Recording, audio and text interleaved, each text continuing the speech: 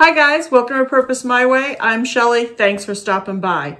So I have a couple projects to do today and I wanted to bring you along. So let's get to it. First project today is this cookie tin. I'm going to take it and transform it into a riser for my candle. I'm going to paint it and put some little feet on it on the bottom and it can still be used for storage as well. So I'm using my Rust-Oleum black, flat black spray paint and giving it a coat all around. And then I'm also going to do the um, the little bead feet that I'm going to put on the bottom. I'm going to do those in black as well. All right guys, so these are all dry. This tin is dry. So I'm going to start with this project. Uh, first of all, what I did was I took and I had a wider piece of this burlap and I cut it, cut the bottom part off so that it would fit on here around the bottom. So it would still leave a little bit of black around the edge and a little black on the top for the lid. And then I also cut some of this material a little bit smaller than my burlap and I pulled the strings on the edges to give it a little bit of a frayed look. I don't know if you can see that. You can see some of the pieces sticking out there. And what I do is just go like that and just pull them. And they usually will go all the way down um, through the bottom. But I did that on both sides. And what I want to do is take my material and put it over the top of my burlap. It's about the same length. I'm gonna have to do a little bit of trimming. But I wanna put stick this end on. Let's see, we'll put my little finger thing on so that I don't burn my fingers. And I'm doing it right down the middle so you can still see, well, I'm trying to, Still see the burlap on both sides, the top and the bottom. So I'm just sticking it all the way down.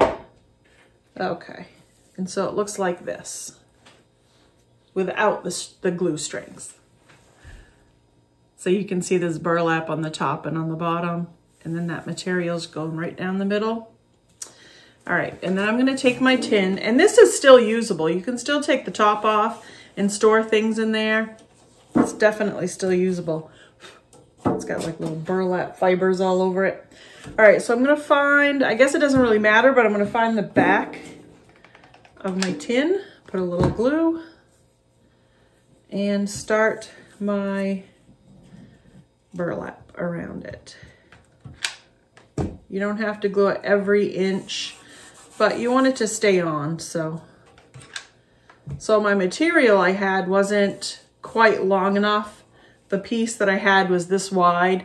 And so I just cut another one, the same piece and I, uh, same width, and I glued it to make a longer piece. So I don't know if you can see where I glued that on there. So I just glued them together to make them longer. And these glue things are everywhere. I'm gonna trim that off and just do the edge so it stays. Hot, hot, hot. Where's my little finger caught thing? Where is it? it's not on. Not on. All right. So there we go.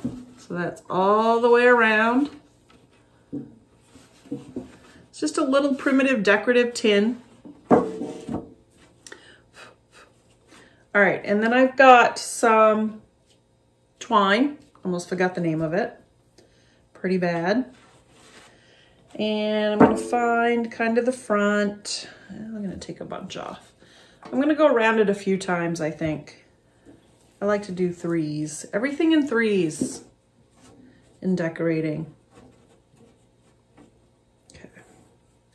There, then I found my back again. So I'm just gonna cut that off. Mm, some more glue. And just work on my strings a little bit. Pull them up. That's twisted. Oops, that one's way down there. Should have pulled it a little bit tighter maybe. But there. See how that is on there? That looks cute. Pretty cute. And then, so here's my back. So I'll just have that in the back. And then I'm just gonna take some more of this twine and I'm gonna make like a, a bow with a few of these. We'll use, we'll use three again. Just making a little bow. And then, like I said, that's the front, the back. So I'm gonna do this in the front.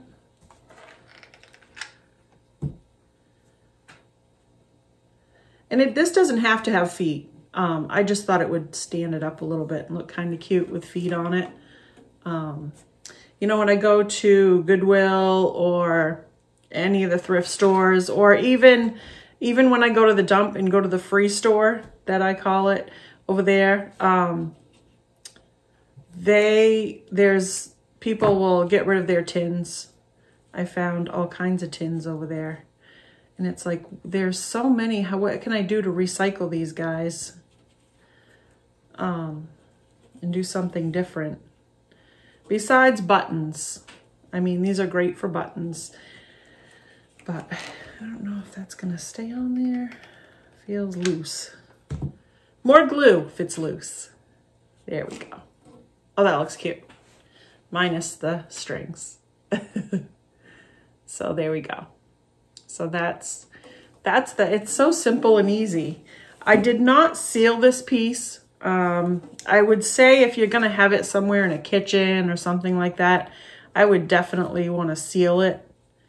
Um, you know, sitting on the counter just in case because it's to be awful hard to clean it.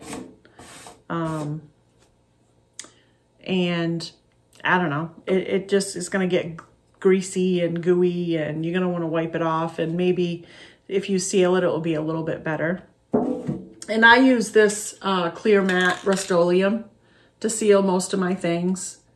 Um, I use the matte finish, but you can use, you know, whatever. They have the glossy and the, you know, the semi, I guess is what it's called. But you can use any, you know, whatever you like. I got my four feet for my tin and I started putting them on. So I'm just gluing the bottom, spacing them out a little bit. This is basically a little riser. It's, you know, like, like a wood riser that you'd have, but this is going to be a tin riser with storage. I guess that looks pretty good.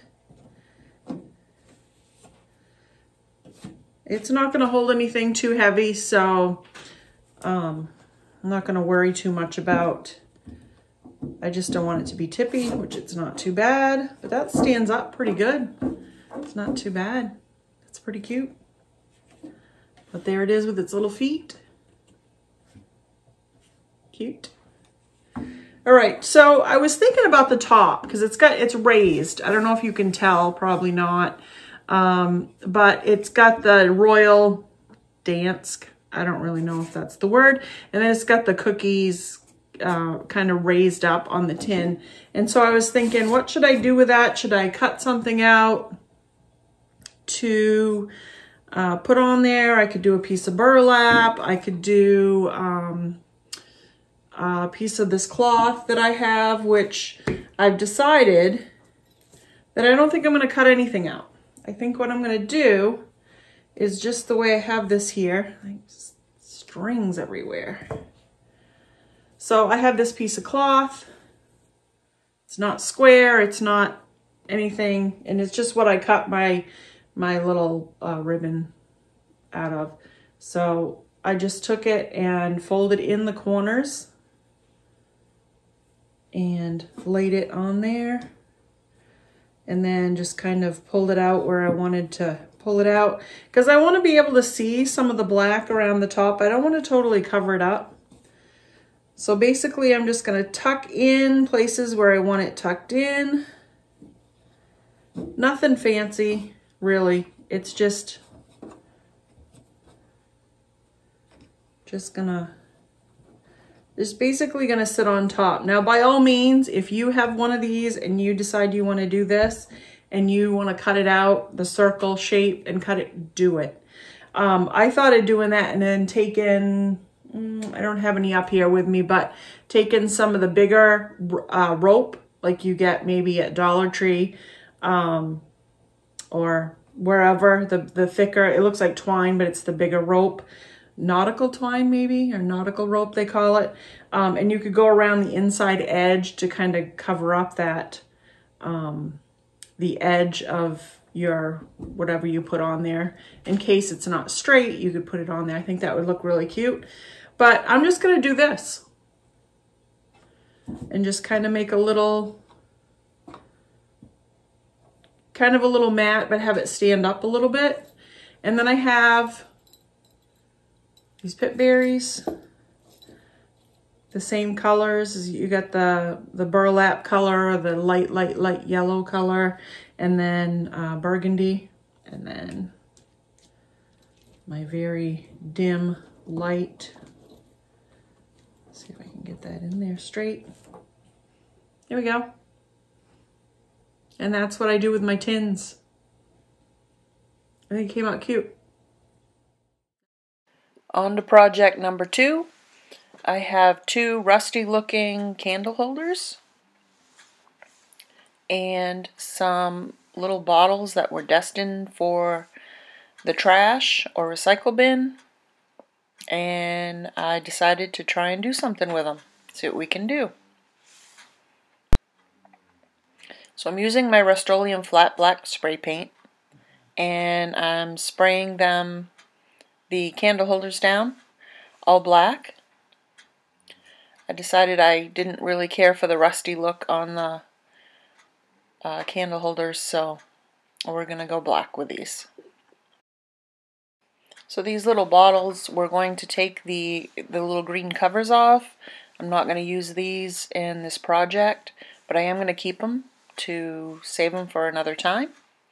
Now I'm going to use my Rust-Oleum frosted glass and I'm going to spray them on the outside, uh, give them a couple coats so that there's a nice um, frosted glass look on them all the way around.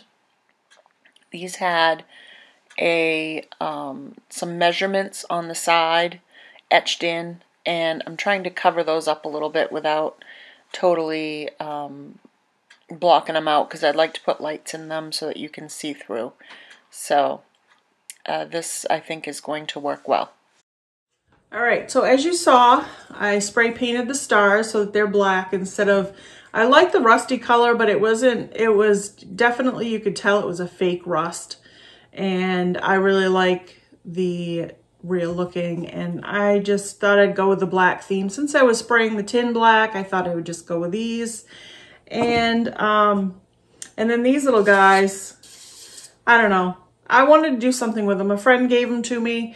She, where she works, she uses these and when they empty them, they throw them away um, or recycle them. And she's like, I don't know, I hate to get rid of them if you could do something with them. So I said, well, I will try. So basically what I'm gonna do is take burlap, um, not burlap, I'm gonna take twine and I'm gonna just go around the top. I'm gonna start some twine here.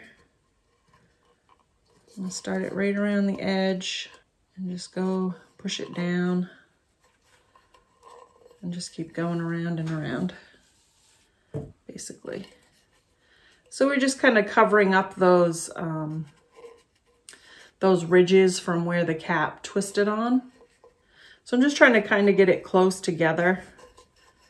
You, I gotta, um, every so often you kind of gotta pull tight with it.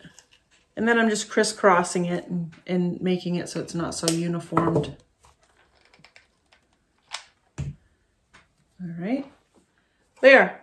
So those kind of look like they match and go together with the little twine and everything. And then I'm gonna put some lights in them and I think that's gonna light them up really nicely.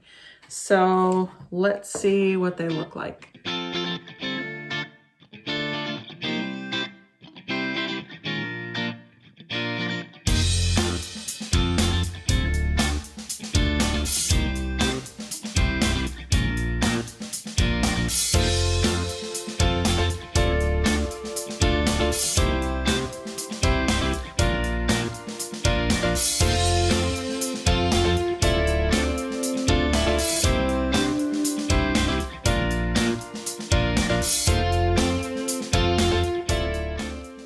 Thanks for watching my repurposing and trash to treasure projects.